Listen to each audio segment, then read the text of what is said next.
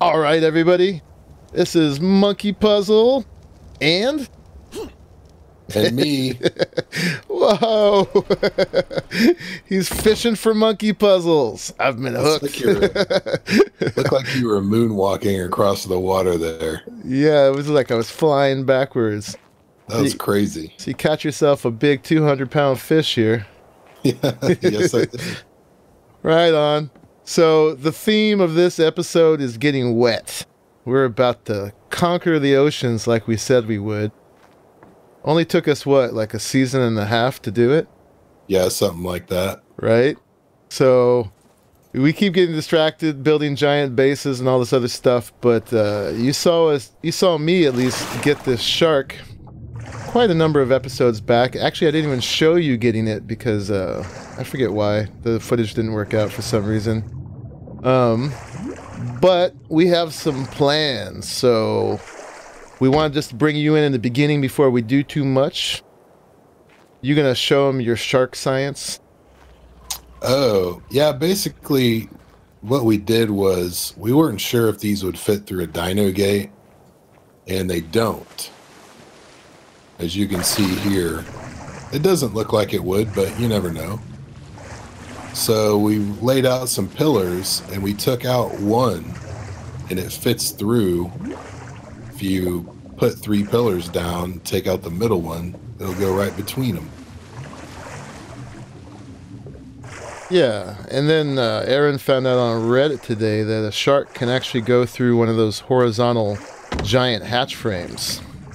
Yes. So, and if we didn't mention before, all this is towards building a shark cage, which is what this raft is going to be. In fact, we should name it. Let's change the name here. It's going to be. Ur. That's kind of a good pirate name. But uh, BMP. So this is the shark cage. We're not going to name it Shark Tank. Shark Tank? We could do that. Wait, isn't that a TV show? We I- might get copyrighted for that. I don't even know. But uh, I'm just kidding. Let's call it. I don't watch a whole lot of TV. Uh, I'm too busy playing games. This is my TV right here. So this is one part of our strategy. Is this is going to be sort of a mobile utility raft that has a shark cage on it that will also work for taming ichthyes. Because ichthyes do seem to, even though they're a passive tame, they do seem to flee at the end. So yeah, this will be for like the surface level tames. We still haven't built it down here. That's what's gonna come. But we built this thing about as big as a shark. Because if when we laid it end to end on those pillars, it seemed like the shark was a little bit more than six building pieces long. So this thing is five by seven. And I'm gonna build a cage underneath. I'm not gonna do it on camera because we have a lot of other adventures to do as well. So I just show you this much. It's all embedded with foundations so that the shark cannot destroy the raft. If you don't know how to embed a foundation, I'm going to link you right here with a card to a video where I do it. So you could go check that out. Um, but basically, now this raft is as strong as the foundations. So, and dinos can't, at least sharks can't hurt stone. So it's good. Um, so that's stage one of our strategy. And then stage two is going to be on this little raft over here. Now, this raft is going to be the depth gauge. And this is completely taken from a video of a guy named One Wing with an X on either side of that. So it's like X One Wing X. And he does a lot of PvP stuff and he does a lot of really good videos on boats or rafts in Ark and all these different rafts he makes with them. So you should definitely go check out his stuff. I'll definitely link to the video where he shows how to do this. And I'll tell you what we're doing when we get there. Got a bunch of parts in here ready to go for that. But first, we're going to take a pause and build the shark cage and bring you back probably tomorrow when that's ready to go. And we're going to head out into the high seas and do all that. So this will tame the sharks and the ichthyes, and that will be good for taming dunkleos, plesios, and mosas, and maybe some of the other new stuff too. Isn't there a squid? There's a squid now, And we're gonna need the Mosas mosasaurs to get the squid. I've heard. When are they going to add the sperm whale? Because that's the squid's natural enemy, right? Right. But anyway, we're gonna get everything in the sea eventually, and we got to get busy getting some black pearls too, because all, all that stuff's coming up pretty soon. Luckily, they keep delaying the update for the tech stuff as long as we keep delaying conquering the oceans. But uh, I think it's time. So Yeah, let's do it. Anything else we need to tell them before we pause to build this thing? I don't think so. All right. So we'll see you guys then. Yo, we're back and we did stuff. What did we do? We built a megalon, megalodon cage, shark cage, Yeah. right here. Oh, more piranhas. Oh. So I'm it's not wearing any armor. it's way bigger than it needs to be. We have the uh, platform thing turned on pretty high here, um, but in default, you could make this a lot smaller. It could be as well with the pillars coming down. It could be as as uh, narrow as four wide to fit this these hatches down here, which we're going to try to bring the shark in. They do go through there. You want to show the people that Rosina Sure. Can actually make it through there. If you did walls instead of pillars to go down, I don't have my scuba on. You could you could make it as narrow as too wide. So there it is. So I'll let you do the math to figure out how small you need to make it to get it under the 88 limit, but it should definitely do, be doable. I just made it lavish because we could. And then up top, this one and the other raft, which is going to be the depth gauge raft, which we're going to explain very shortly. Both are equipped with smithies, beds, crafting stations, and and whatever you call these things, preserving bins. Dude, we need ladders. I can never get up these damn ramps. All right, we're gonna make ladders, and we're gonna go find a spot to use these things, and we'll show you what they do. Yeah. Yeah. See you soon. All right, we just went off a little bit offshore and found this 168 Mosasaurus. Be careful, objects are closer than they appear. So, I'm gonna go right above this thing. There is a limit of how high they can go. So, I'm gonna find a spot right above it, which is right here. All right, so this depth gauge raft is right above it now, and taking a cue from that video I told you about from One Wing, what you can do is use this to set pillars down to find the different levels that these things will spawn at, or not spawn at, but come up to. So the first level is 41 pillars down, is as high as Dunkleo's will go and then they won't go any higher than that. So you can get right above that level, and they won't come any higher. So I just put 41 in my inventory, and I'm gonna go all the way down with them. So I'll see you when I get down there. All right, so that's the last one. That should be 41 pillars. Now we want to place a foundation here.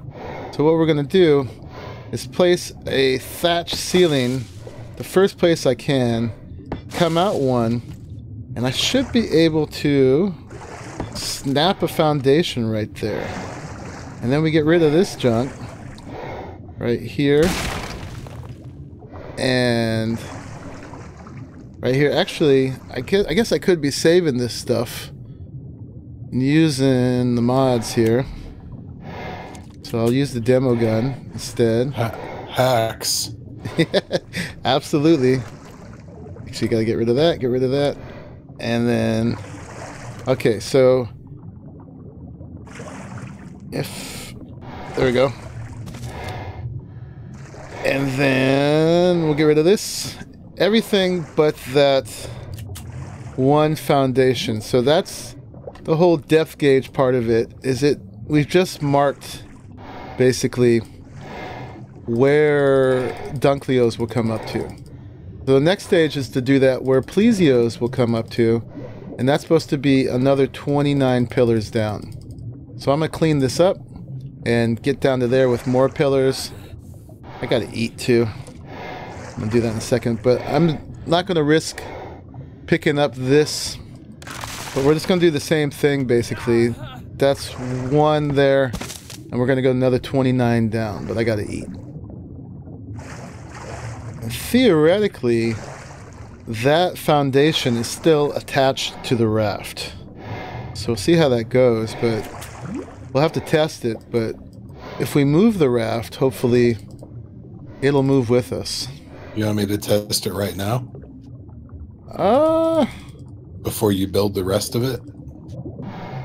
maybe. I mean, we should probably just get to taming this this mosasaur, and then we can test it. Okay. So if I didn't state it outright before, there are limits how far you can build up and build out on a raft, but there's no limit on how far you can build down. And because I keep deleting these, they were not gonna pass the 88 uh, structure piece limit.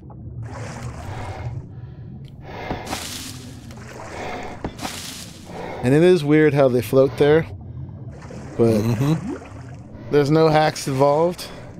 You can do that in the actual game, so. This is the actual game. No mods, no modifiers to do it. Alright, so there's that. I just gotta get rid of the rest of this stuff. That is the marker for how high plesios will swim towards us. So if we kite one up here, we know how high we can go above it. Apparently, their momentum can take them a little bit higher than that. Their area of attack can take them, can go a little higher than that, but it's just a general indicator where you need to be above in order to um, to attack them safely. Just waiting for Jaws to come out of the out of the depths and eat both of us. Well, I'm glad you're spotting. Got to keep your head on a swivel. Okay, and then the last one is 40. I gotta go grab two more pillars. Oh, found another cave. Ooh. This is the cave that um, Alexis and John, where they kited that Mosa to, and they sat inside the inside the cave opening Mm-hmm. Because the, the Mosa's too big to get inside. There's a ton of crystal and oil and stuff in here, Right on. and a Titanomyrma explorer note. Oh, cool. It's really bright. So this last set, folks, I'm going down 40. And that should take us down to Mosa level. I'm not seeing that Mosa right now. He Uh, probably went south. and we don't know yet whether this is going to be truly movable or not. But we'll find out. There's the Mosa. I see it. Now He this is west. seems really low. Yeah. But we'll find out if this is actually accurate. But I uh, want to go to that level and then swim toward it and see if it's below me or above me. How many more do you got? nine. I'm gonna hit the Oh, ground. wow. His numbers may not be accurate. We'll yeah, find- I um, I don't know, man. We'll see. You know what I'm gonna do is I'm gonna leave these pillars in place because we might need to set the somewhere else. Right. All right, so that's that, and we could set the foundation floating there and get rid of all these pillars. But first, before I do that, I'm gonna find out if this is a true, true marker. If I could hit him with an arrow, I'd bring him over there. Oh, I got him. All right, there it is. Okay, yeah, he has definitely come above But he didn't attack me when he did. Oh, there you are. Alright, I'm gonna shoot him and bring him over this way. Ooh, scary. Yeah. Why am I not getting hits? What's up with his hitbox? Oh, there's a hit. That was my hit. Um, it's really weird. I gotta get some stamina. He'll come up above the marker, but he won't attack when he's above the marker.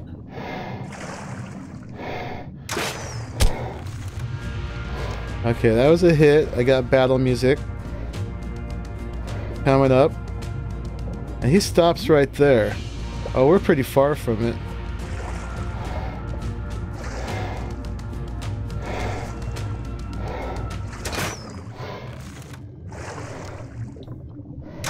If we're gonna kite him, we should get on the shark and kite him over to where we want it. Yeah, I'm trying to lead him over there. But it's hard to hit him and it's hard to aggro him. Right.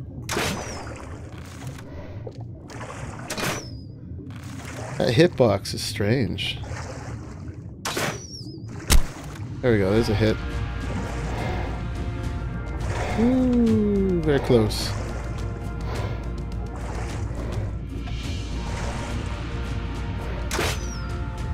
And I'll have the music and it'll still swim away from me. Yep. It's because we're above the the level where it attacks. I think. So that marker is is working. Probably. There it goes.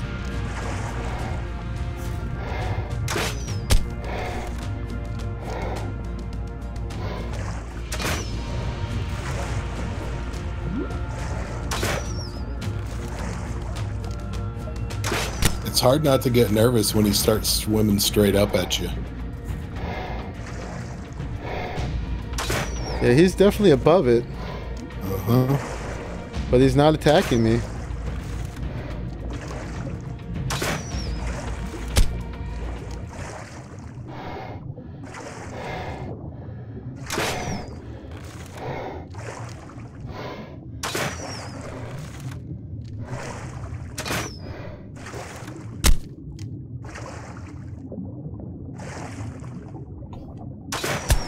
How fast will he own me? Okay, that's a hit. Pretty fast.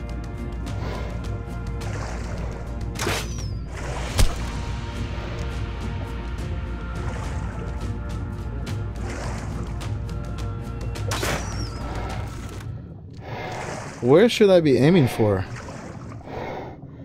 I'm just aiming for the body.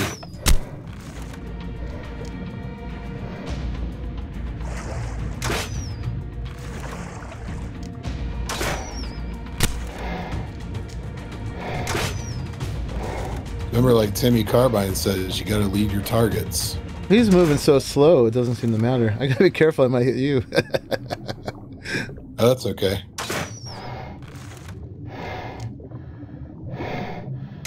Yeah, he's way above, but he's not attacking now.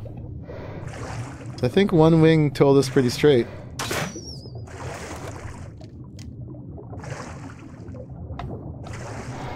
Oh, he could bite there. Did he get you? He did. Okay, I'm right. Good job. I'm Sure. right by. And the uh, foundation would be just a little above here, like about here.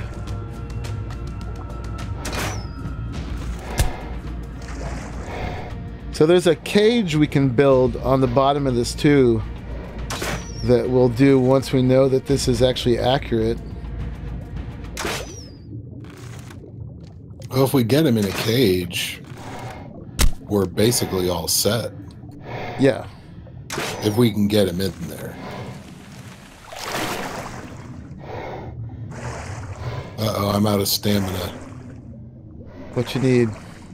Oh, I couldn't. I couldn't ascend because I was out of stamina. I was about to get the shark and bring it down to you. That's all good. It's okay. He gets one good one in on us. What's an Ark episode without a death, you know? Exactly. Death to a mosasaur is nothing to be ashamed of. That'll be two in a row that I've died in, right? Yep. No.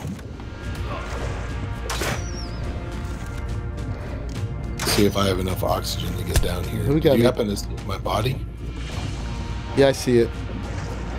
I think I see it too. I'm actually fairly close to death myself. This time he got me down pretty far with one bite. He got me twice. Yeah, a second one would kill me. What you crafting? I am crafting more trank arrows. Ah. It's having a seizure.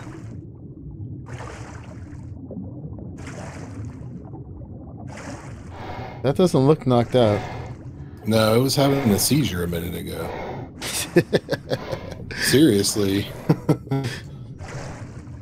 We want them intact so we can use them. There's a shark above me. Uh, he's definitely fleeing.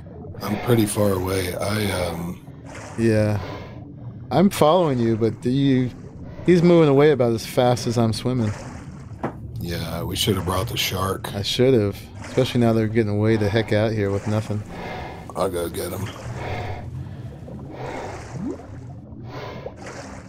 If I can make it to the surface. Now a shark's on me.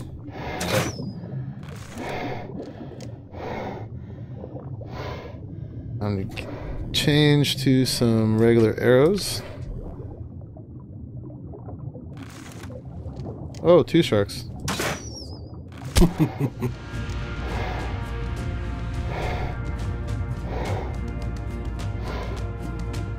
yep. Oh shoot. That's not good. Yep. Can't help you right now, I'm sorry. I'm just out of whistle distance of the shark. I'm gonna die. Swim up. I'm at the surface. Oh, Swimming backwards towards land, and I'm dead. And he just ate me too. Alright.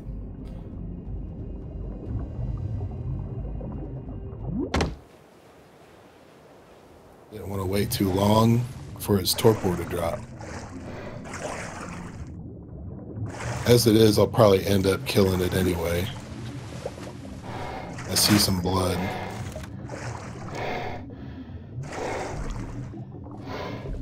Alright, folks. Well, I never did find my body bag, which is a shame. There's a bunch of good stuff in it. But we did not lose the Mosa yet. my shark keeps wanting me to shoot it. I gotta be careful. I don't have any weapons on me right now. Well, I have trank arrows. Oh, right. Those will still kill uh, jellyfish. Really? Yeah. They still do damage. Way less than an actual arrow, though, right? Oh, I don't think so. that's that. All right, folks. So we demonstrated that you can kill a 168 Mosa. oh wow, his tongue is sticking out very strangely. That's weird.